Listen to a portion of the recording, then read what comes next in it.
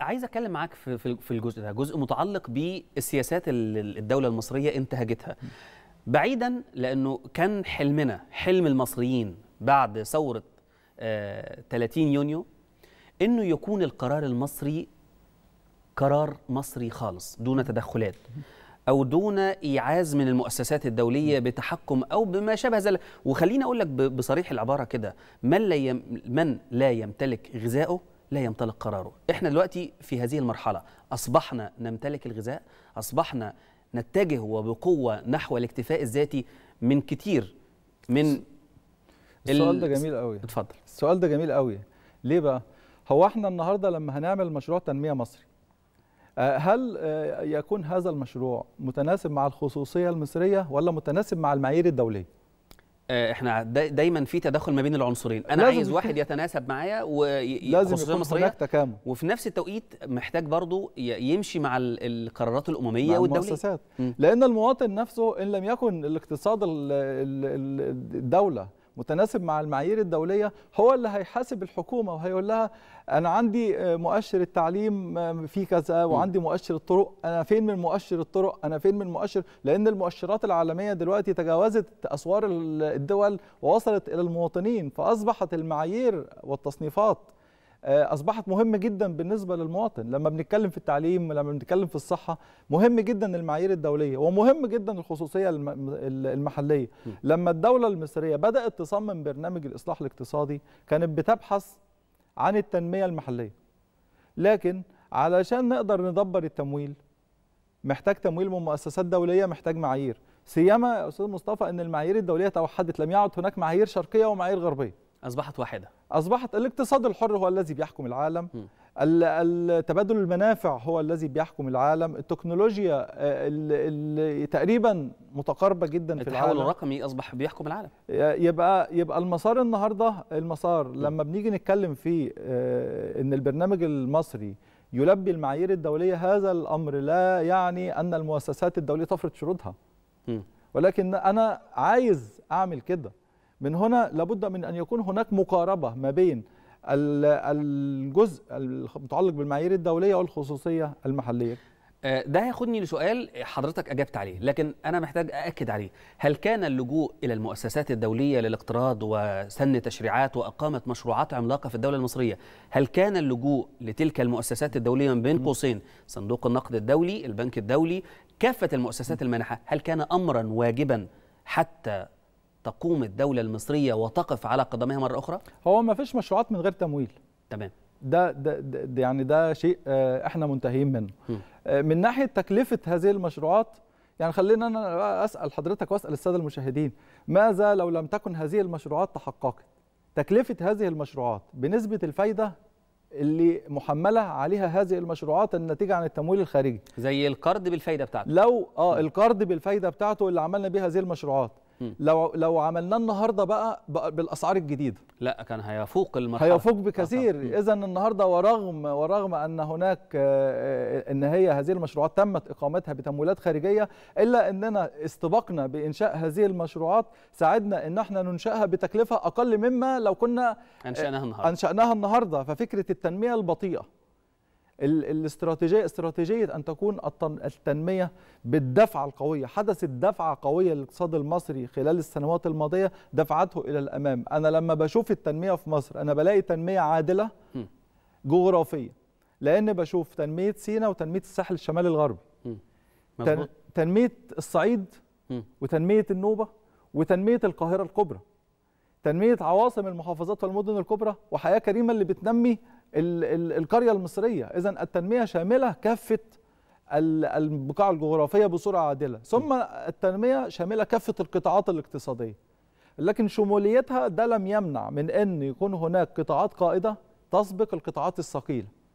لأن إحنا يعني كان مهم جدا قطاعات البنية التحتية تسبق وقطاعات الاتصالات وقطاعات الخدمات حتى تأتي بعد ذلك الصناعة والزراعة لأن الصناعة والزراعة والتمكين القطاع الخاص بصفة عامة كان محتاج تهيئة البيئة في البداية م. آه، طبعا في فترة ك- كورونا أنا عايز أفكر حضرتك. برضه الساده المشاهدين بحاجة في فترة كورونا إحنا انتهينا من برنامج الإصلاح الاقتصادي في نوفمبر 2019 وكان عام 2020 هو عام الصناعة م.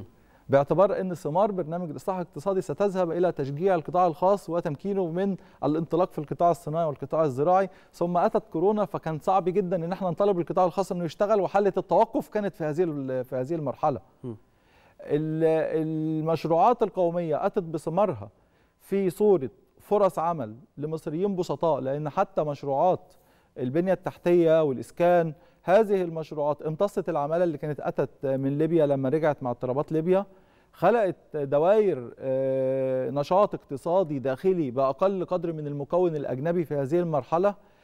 حسنت من معيشة المصريين سيما يعني العشوائيات اللي تم القضاء عليها بنسبة 100% العشوائيات الخطرة بحياة الإنسان. تم الانتهاء من هذا الملف بالكامل والانتقال إلى العشوائيات غير المخططة للتعامل معها. اذا يعني فكرة الحديث اللي البعض بيتحدث عنه هو استثمار في البشر ولا استثمار في الحجر؟ في الحجر. طبعا الاستثمار في البشر والحجر هم عملة واحدة لأن مشروعات البنية التحتية والإسكان والمرافق والمشروعات للبشر. القومية لما بي لما بيشتغل فيها المصريين ويحصلوا على رواتب بي بينفقوها على صحة أبنائهم وعلى تعليم أبنائهم وعلى تحسين معيشة أبنائهم. اذا فهناك وجهان لعملة واحدة لا يفصل بينهما شيء. طيب ده هياخدني لجزء في غاية الأهمية دكتور وليد وهو كيف للدولة وللمواطن سويا أن يتحقق الرضا ما بينهم؟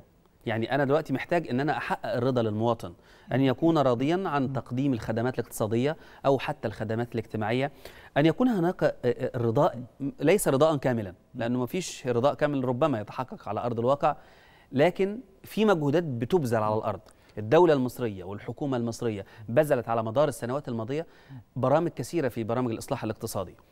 ما تحقق على أرض الواقع وما تم الانتهاء منه وما لم يتم الانتهاء منه حتى هذه اللحظة. كيف يمكن تحقيق هذه المعادلة؟ خلينا عندنا مستويات من من السؤال بتاع حضرتك وأسئلة حضرتك في الصميم النهاردة بصراحة.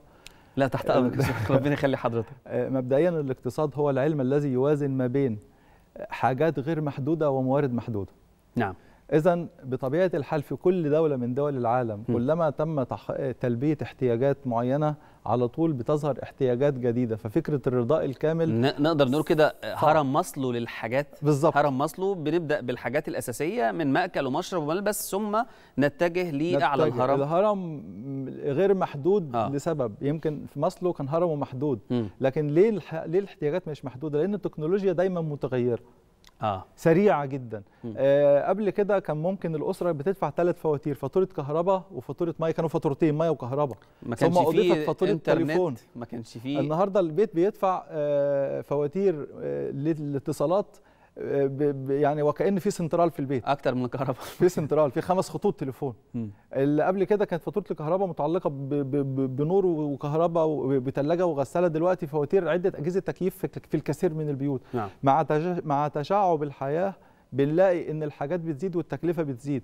الضغط النفسي على رب الأسرة المصرية بيزيد لأنه أصبح مطالب بتلبية احتياجات أصبحت أساسية. والعبء الخاص بها أصبح كبيرا جدا بيدفعه إلى إنه يعمل. م. طب إيه دور الدولة في ذلك؟ دور الدولة إن هي بتحاول تخلق فرص عمل بتحاول تكبر حجم الاقتصاد. هل الاقتصاد كبر؟ نعم الاقتصاد كبر. المشروعات القومية وحجم الموازنة العامة كبرت. هل هناك تحديات؟ نعم هناك تحديات. لكن خلي بال حضرتك إن إن نسبة الرضا لازم نضع لها معيار عملي مش نسبة الرضا بنسبة 100% لا هو المعيار ده أنا برضو يعني كنت هكلم حضرتك وأقطعك في الجزء الأولاني وضع المعايير. المعايير دي اوريدي تم وضعها. آه يمكن معايير آه الشفافية اللي موجودة يمكن آه معايير آه قفز مصر في مؤشر جودة الطرق في مصر. زي ما حضرتك قلت في البداية طبعا. آه لما تم تهيئة البنية الأساسية والبنية التحتية المستثمر جه طبعا. للدولة المصرية. حب يستثمر وحب إن هو يكون موجود في الدولة المصرية لأنها بتقدم له تسهيلات. آه لو أنا قفزت أكتر من 100 مركز مرة واحدة في جودة الطرق وده باشاده المؤسسات الدولية انعكاسه على الاقتصاد الإلكتروني. هو انعكاسه كبير بس اسمح لي بس أنا عايز أكمل الجزئية دي. اتفضل. أنا عايز أضع معيار الأسرة المكونة من أب وأم وطفلين.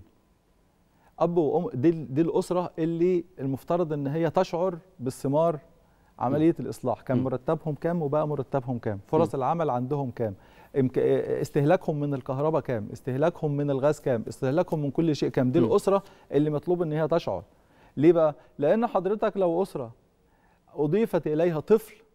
لا مهما حدثت من معدلات التنمية ليكن معدلات التنمية وصلت ل 7 و8% م. وأسرة مكونة من أب وأم وطفلين زادوا طفل فأصبح العبء آه، كبير شوية كبير نعم فاحنا عايزين نضع نضع معيار محدد لهذه المسألة. ولما بنضع المعيار ما بنقولش إن إحنا مطالبين بالكمال. لا أنا لازم أقارن نفسي بالدول المشابهة. قدرت الدول المشابهة توفر لنفسها إيه؟ واللي بتتعرض في نفس الظروف. فكرة فكرة أن لا أتأثر أنا عايز أفكر حضرتك بقضية في عجالة. آه، قبل كده قبل ما نندمج في الاقتصاد العالمي كان لما بتحصل أزمة في الخارج ما بنحسش بيها. دلوقتي النهارده آه، آه، الوضع اختلف. هل هل يتصور أحد إن تحصل مشكلات في البحر الأحمر ويتراجع إيراد قناة السويس وان لا نشعر به. بالتأكيد. ما حاجة من. اثنين لما إيراد قناة السويس يتراجع هي حاجة من اثنين يا إما الدولة ترحل هذا العبء على المواطن يا إما الدولة تستدين علشان علشان تتحمل هذا. تتحمل لا ده هيم لا ده هيرضي المواطن ولا ده هيرضي المواطن الموائمه ما بين ما يمكن أن نستدينه وما يمكن أن يتحمله المواطن. هي دي الإدارة اللي أو الفلسفة اللي لازم تتخذ منهج وسطي آه، يراعي كل الاعتبارات نعم